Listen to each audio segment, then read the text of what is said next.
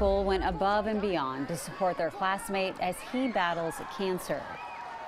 Trevor Ault was uh, the only reporter on hand to capture the special moment this morning. Hi, The pep rally is a staple for any healthy student body. But Friday morning, instead of cheering for themselves, the 680 students at Straub Middle School held a rally for one.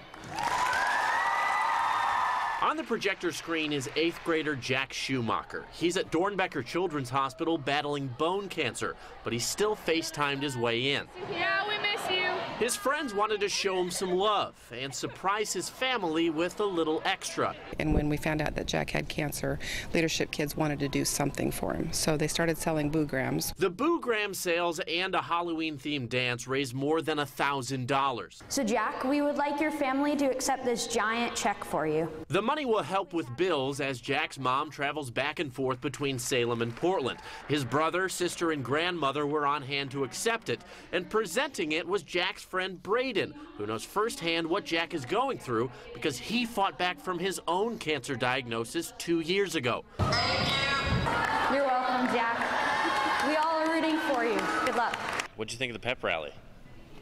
Pretty cool.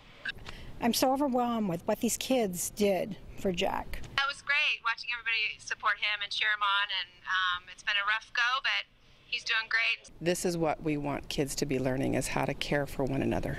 It's just overwhelming as a mother. Sorry.